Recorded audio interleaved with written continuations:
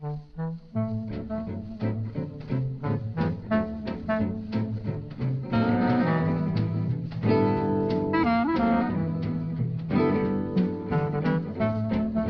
Jahre 1913 entsteht in Linz auf Betreiben einer Handvoll junger Künstler ein Gegenpol zum konservativen oberösterreichischen Kunstverein.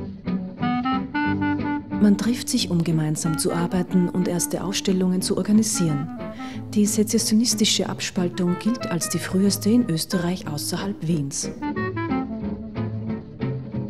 Für die März Künstlervereinigung war der Name ein ganz bewusst gewählter. März steht für den Neuanfang, für den Beginn der Aufbruch in die Moderne. Und das berücksichtigen wir natürlich auch in dieser Schau, nämlich den Anfang dieser Künstlervereinigung 1913 bis zu dem ersten Verbot der Künstlervereinigung 1938 durch die geschichtlichen Gegebenheiten.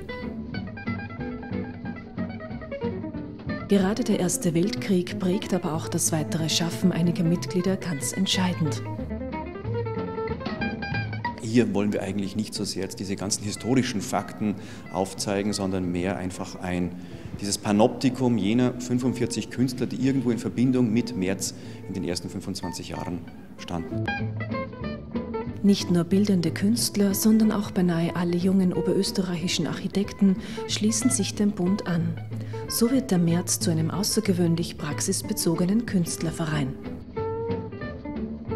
In der Anfangszeit äh, waren die herausragende Persönlichkeit, die auch sicherlich dort die, die Feder geführt hat, war ähm, im wahrsten Sinne des Wortes der Zeichner Clemens Brosch.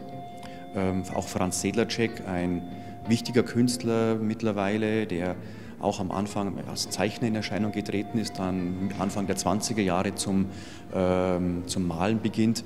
Ähm, es ist dann in der weiteren Folge sicherlich äh, Matthias May, der in den 20er Jahren aus Köln kommend sich in Linz hier niedergelassen hat, eine Malschule gegründet hat. Das Bild, was wir hier im Hintergrund sehen, ist von Matthias May. Neben diesen Arrivierten gibt es natürlich auch sehr viele Neuentdeckungen, Namen, die in Vergessenheit geraten sind und das soll diese Ausstellung auch zeigen, neugierig machen eben.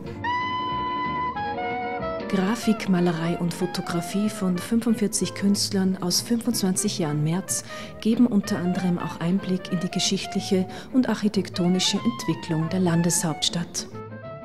Also etwas ganz Besonderes ist das Aquarell von Weser Grell aus dem Jahr 1913, das das Landhaus, die Vogelperspektive Linz-Ufer zeigt und an der Ecke Promenade zum Theater hat es einen Pavillon gegeben und dort haben die ersten drei Ausstellungen der Künstlervereinigung stattgefunden.